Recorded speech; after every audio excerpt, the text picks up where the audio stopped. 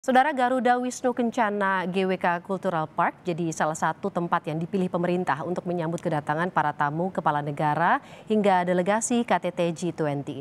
Ada tiga lokasi yang disiapkan di GWK, di antaranya Lotus Pond, Festival Park, dan juga lokasi spot foto. Presiden Joko Widodo dan juga para delegasi dijadwalkan akan menghadiri jamuan makan malam di Lotus Pond. Saat ini saya sudah berada di GWK untuk mencari tahu seperti apa kesiapan yang sudah dilakukan oleh pihak GWK. Sudah bersama saya Direktur Operasional dari GWK, Bapak Yonatan. Halo, selamat pagi Pak. Sehat Pak ya? Sehat banget. Sehat banget. Iya Pak, fasilitas atau apa saja yang dimiliki oleh GWK ini sehingga tempat ini dipilih sebagai salah satu tempat yang akan dikunjungi oleh delegasi KTT G20. Jadi eh, GWK Cultural Park ya sebagai taman budaya ini seluas 60 hektar.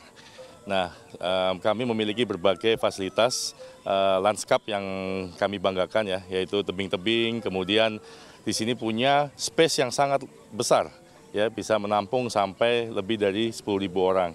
Nah, eh, GWK sendiri memiliki beberapa ikon seperti Plaza Garuda, Plaza Wisnu, dan juga patung sendiri ya, Garuda Wisnu Kencana yang sebagai patung tertinggi keempat di dunia.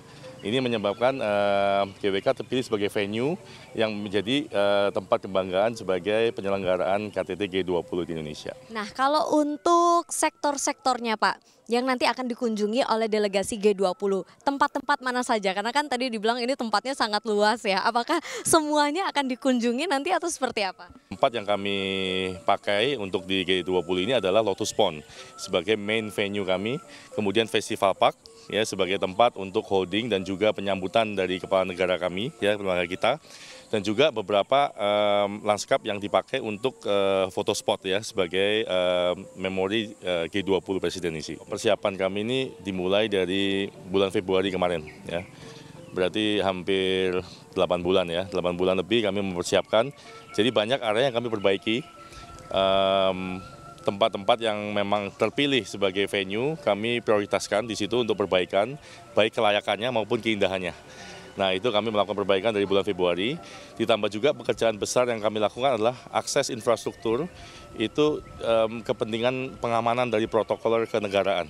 Karena kita tahu ya 20 kepala negara hadir dengan protokol mereka, kita harus pastikan akses yang ditempuh untuk mencapai venue dan keluar dari venue harus memadai. Jadi rencananya nanti ada dua akses yang akan dipakai.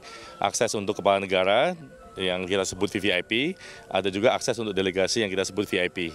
Nah, dua ini yang kita siapkan terpisah.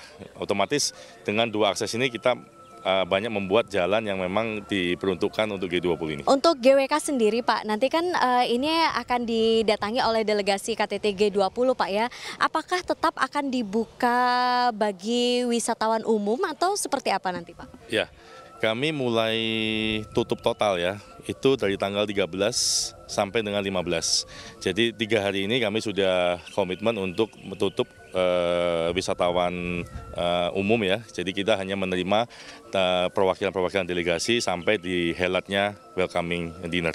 Setelah G20 nanti harapannya ke depannya untuk keberlanjutan pariwisata Bali seperti apa Pak? Ya tentunya um, Bali ya pada khususnya ya bangga karena Indonesia terpilih sebagai tuan rumah G20.